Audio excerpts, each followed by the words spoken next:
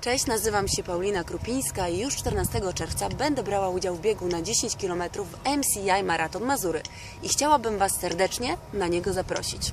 To do zobaczenia na trasie. Pa!